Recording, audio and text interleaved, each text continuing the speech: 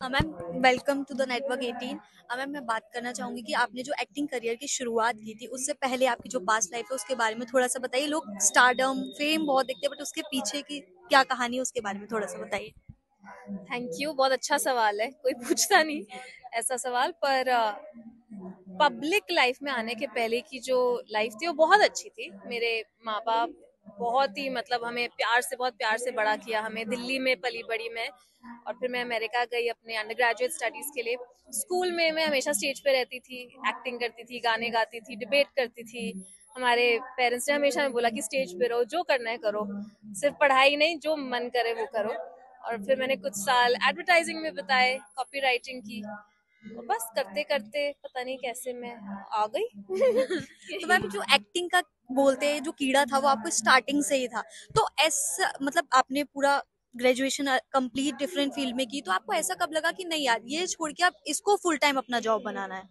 तो ग्रेजुएशन मैंने actually acting में ही की थी। मतलब थिएटर में की थी। पर उस उस समय ये सब होता नहीं था, सोशल मीडिया वगैरह कुछ नहीं था। तो मैंने, मुझे ये एडवाइस दी गई थी कि अपनी पढ़ाई उस चीज़ में करो जिसमें तुम्हारा मन लगता है, क्योंकि वो तुम्हारी पर्सनैलिटी को बनाएगी। ना कि सिर्फ़ एक डिग्री जिसपे नाम लिखा हो कुछ भी। तो जब मैं एडवर्टाइजिंग में थी, तब मैं थिएटर भी करती थी साथ में। और मेरे मन में हमेशा ये था कि कुछ ना कुछ एक्टिंग करते रहना है ऑडिशन देते रहना है एड मिल जाए, कुछ भी मिल जाए। बस यूँ ही ऐसे करते करते मैंने कुछ इंटरनेट पे दो चार वीडियो बनाए। और तब इंटरनेट भी चल रहा था शुरुआत हो रही थी इंटरनेट की और हमारी भी शुरुआत हो रही थी। Right place right time I think अगर मैं बात करूँगी जैसे कई युवा जो हैं आजकल एक्टिंग करना चाहते हैं बट उनके अंदर एक डर होता है कि क्या इसमें हम अपना करियर बना सकते हैं? वो इस चीज़ से बहुत पीछे हटते हैं कि क्या ये हमारे लिए एक सही करियर साबित हो सकती है? तो उस उनके लिए आप क्या कहना चाहेंगे मैम? आई थिंक ये बहुत ही जायज़ डर है कि कोई भी फ्रीलांस फ़ील्ड में जाने से पहले डर लगना बहुत ही अच्छी बात है। It means you're wise it means you think about your future तो मैं भी ऐसे ही बिल्कुल बिना सोचे समझे नहीं इस फ़ील्ड में आई थी। मैंने एक्चुअली काफ़ी फाइनेंशियली सोचा कि मतलब मेरे पास रिज़र्व है मैं ये कितना कमा पाऊँगी मैं ये रेंट पे कर पाऊँगी क्योंकि मुंबई शहर में रहना आसान नहीं है आज भी।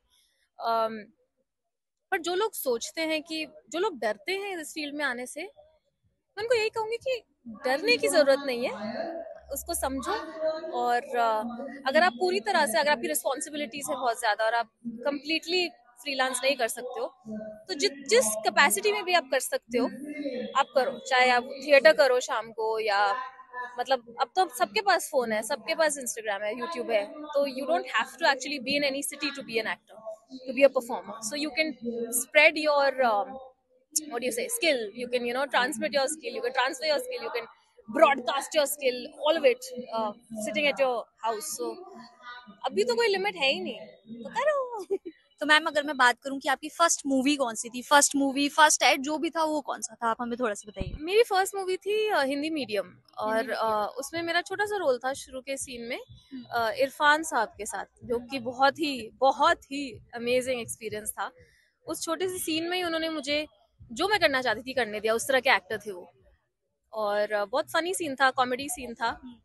और वो सीन लोगों को याद रहता है अभी तो वो थी मेरी फ़र्स्ट फ़िल्म कैसा रहा मैम आपका जो भी एक्टिंग का सफ़र जो कहेंगे तो वो कैसा रहा आपका? अभी तक भी एक होता है ना फ़र्स्ट मूवी हमें हमेशा याद रहती है। हम कितना भी काम कर ले इंडस्ट्री में लेकिन फ़र्स्ट जो चीज़ होती है वो हमेशा याद रहती है। डर था? क्या था फ़र्स्ट मूवी से पहले? आ, डर तो नहीं था पर एक्साइटमेंट बहुत थी। और वो दिल्ली में शूट हुआ था ना वो सीन करोल बाग में शूट हुआ था। हम दिखा चांदनी चौक रहे थे करोल बाग में हमने शूट किया था। और सुबह सुबह चार बजे उठना था और तब मुझे समझ आता मैंने कहा चार बजे कौन उठता है काम के लिए? तब मुझे ऐसा लगता था कि है ये कैसा काम है?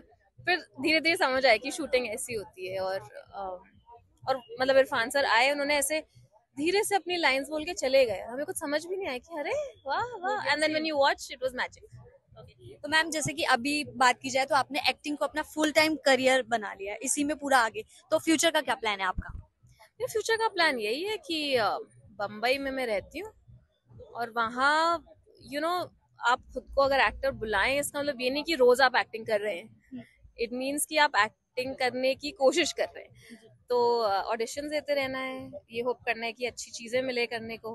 मैं कॉमेडी ज़्यादा करती हूँ तो एंड आई थिंक वो एक बहुत गिफ्ट होता है लोग को हंसा पाना। तो आई थिंक औरतों को फ़िल्मों में फनी रोल थोड़े कम दिए जाते हैं। या फनी फ़िल्म थोड़ी कम बनती है औरतों के लिए।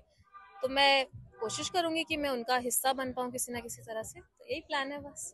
Thank you so much thank you Akanksha Dikshit local eighteen Delhi.